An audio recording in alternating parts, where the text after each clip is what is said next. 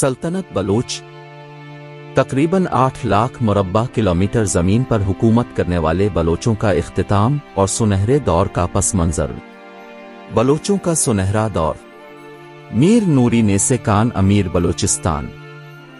बरतानिया की आमद से पहले बलोचों की सल्तनत तकरीबन आठ लाख मुरबा किलोमीटर तक फैली हुई थी, जिसमें बलोचिस्तान रियासत, सिंध बशमूल कराची। मरी बुकटी आज़ाद कबाइल की रियासत और डेरा गाजी खान व राजनपुर के आज़ाद तमंदार बलोच कबाइल तक बलोच कौम की सल्तनत थी। एक तरफ़ सिंध और कराची में बलोच तालपुर मीरों की सल्तनत, दूसरी तरफ़ कलात के बलोच मीरों की सल्तनत, जो सबसे बड़ी बलोच सल्तनत थी। जिसका दायराकार तकरीबन छह लाख मुरबा किलोमीटर तक वसी था। जो एक तरफ़ अफ़गानिस्तान के मौजूदा सूबा नीमरोज़ हेलमंद और कंधार के बलोच इलाकों तक फैली हुई थी। तो दूसरी जानब ईरान के सिस्तान और बलूचिस्तान के अलावा किरमान तक और यहाँ पाकिस्तान के मौजूदा बलूचिस्तान बशमूल आज़ाद बलोच कबाइल के इलाके और डेरा इस्माइल खान वटानिक तक रियासत बलूचिस्तान थी, जिसका अपना झंडा, अपनी करेंसी, अपने दो ऐवान और अपने हुक्मरान, अपनी कबायली फौज, इसी तरह सिंध बशमूल कराची में तालपुर बलोचों की रियासत ये वो वक्त था जब बलोच कौम मौजूदा अफ़गानिस्तान जैसे मुल्क से 25 फ़ीसद ज़्यादा बड़े रकबा पर हुकूमत कर रहे थे। ये वो वक्त था जब बलोच मौजूदा मुल्क पाकिस्तान के मौजूदा रकबे, जतनी सल्तनत पर अपनी इजारादारी कायम किए हुए थे। बरतानिया के आने के बाद इस इजारादारी को नज़र लग गई। सिंध के तालपुरों ने सुरंगों करने की बजाय लड़कर हार अजीत मौत अ ज़िंदगी को बेहतर समझा। इसी तरह कलात के खान मीर महराब खान बलोच ने ऐलान जिहाद किया, और मीर शाहनवाज खान बलोच, जो मीर महराब खान के बाद कलात रियासत बलोचिस्तान के हुक्मरान बना। इसने बरतानिया को वेलकम किया ताकि मीर महराब खान की हुकूमत गिराकर अपना हुक्मरान बनने का ख्वाब जल्द पूरा कर सके। बरतानिया को इन बलोच नवाबों सरदारों ने भी मदद की, जो मीर महराब खान की हुकूमत के खिलाफ थे। और दूसरी तरफ़ पहले से ही डेरा और राजनपुर के बलोच तमंदार भी बरतानिया के साथ सिखों के खिलाफ लड़ाई में कोई मुदाखलत न करने के मुआहिदा के तहत दोस्ती का हाथ मिला चुके थे। लेकिन दूसरे मरी बुकटी आज़ाद बलोच कबाइल की रियासत ने बरतानिया पर ज़बरदस्त हमले किए और इल्म बगावत किया। मीर महराब खान ने बहादुरी के साथ जिहाद किया और लड़कर शहीद हुए तालपुर मीरों ने भी बहादुरी के साथ जंग लड़ी। इसके बाद ईरान ने भी बलूचिस्तान में फौजें घुसा दे। एक तरफ़ बरतानिया, दूसरी तरफ़ ईरान और तीसरी तरफ़ वो बलोच नवाब सरदार जो ताकतवर भी थे, लेकिन अपने ही हुक्मरानों के खिलाफ थे। इन नाराज़ बलोच नवाबों सरदारों अपनी हुक्मरानी या बालादस्ती के लालच को बरतानिया ने अपने हक में करके रियासत बलोचिस्तान को तकसीम कर दिया।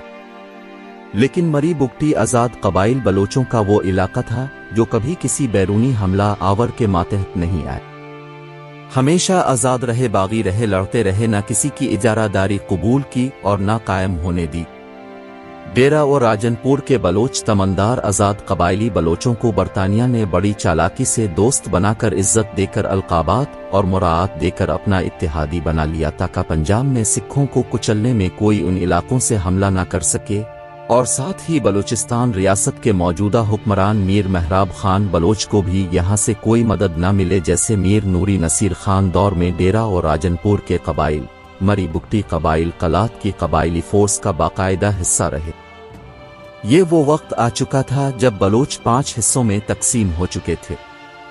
एक तरफ़ मरी बुगटी इलाका जहाँ बगावत थी, दूसरी तरफ़ तमंदारों का डेरा व राजनपुर जो मरी और बुगटियों से कबायली लड़ाइयों और हमलों की वजह से भी तंग थे और बरतानिया के साथ भी इतिहाद बना चुके थे। तीसरी तरफ़ तालपुर मीरों की सल्तनत जिसको अब खान अफकलात बलोचिस्तान की रियासत की तरफ़ से भी कोई सपोर्ट न मिलने के हालात वाजे दिखाई दे रहे थे, क्योंकि मीर महराब खान वाले कलात बलोचिस्तान, चौथी तकसीम खुद बरतानिया के खेल में तनहाक हो चुके थे और वो अपनी जंग लड़ने के लिए भी अब पूरी ताकत नहीं रखते थे क्योंकि कोई नवाब, कोई सरदार साथ न रहा। झालावान और सरावान के कुछ बलोच अब साथ रह गए थे और नूरा मैंगल जैसे बहादुर बलोचों ने मीर महराब खान के साथ जिहाद किया और शहादतें पाई। पांचवी तकसीम मौजूदा सिस्तान व बलूचिस्तान व नीमरोज इलाकों पर ईरान बशमूल बरतानिया के साथ हालत जंग में थे।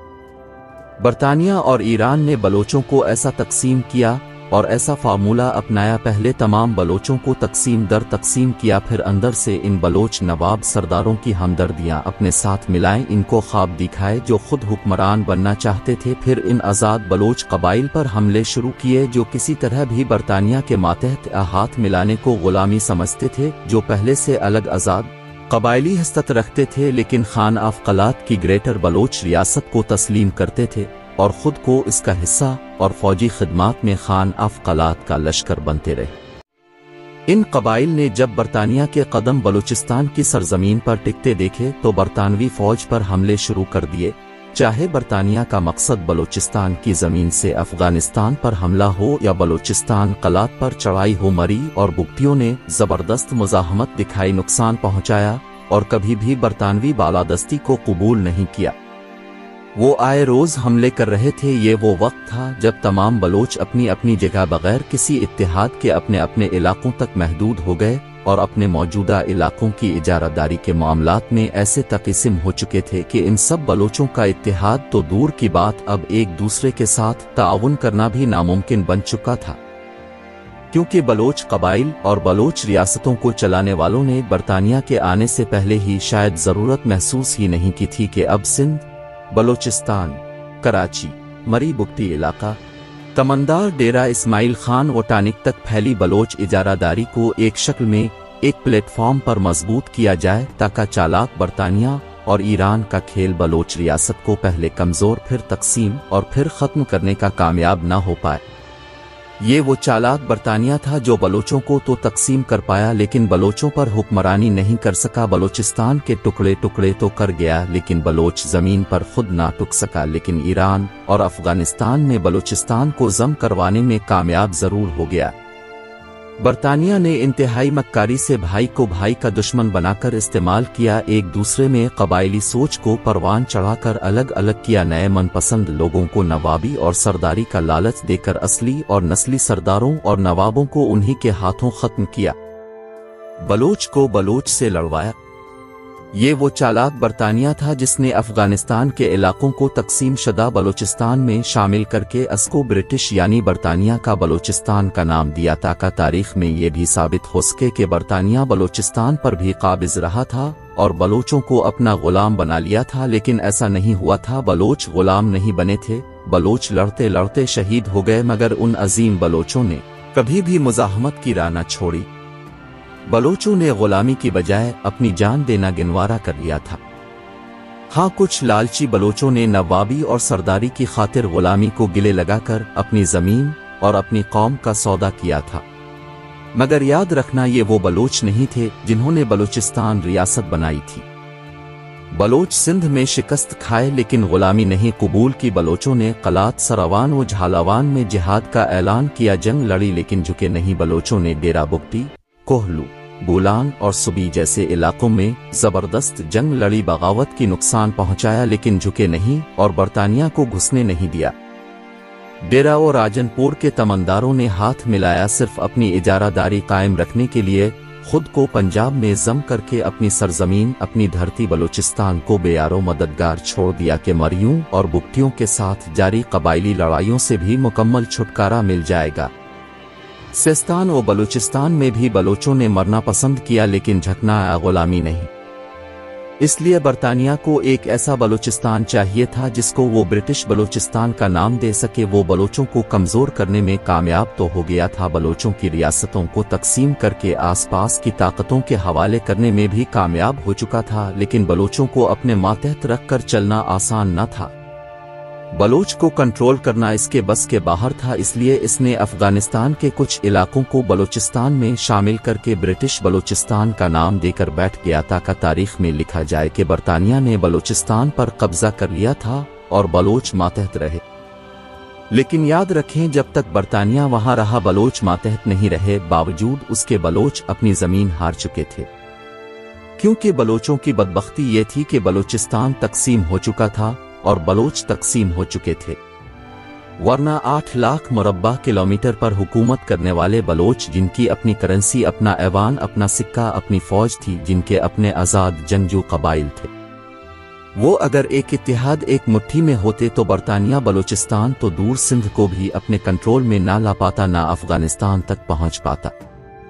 बरतानिया से पहले यकीनन ये बलोचों का सुनहरा दौर था, जिसको मजीद ताकतवर बनाया जा सकता था, बे अगर सिंध के तालपुर बलूचिस्तान के अहमद जई, डेरा बुक्ती और कोहलू के मरी बुक्ती, डेरा और राजनपुर के तमंदार एक इतिहाद बना लेते, एक मुआहदा कर लेते के बैरूनी हमला आवरों के खिलाफ एक साथ हैकर इतिहाद बनाकर चलेंगे, आपस की रंजिशें, कबायली लड़ाइयों को भला कर मुकाबला करेंगे।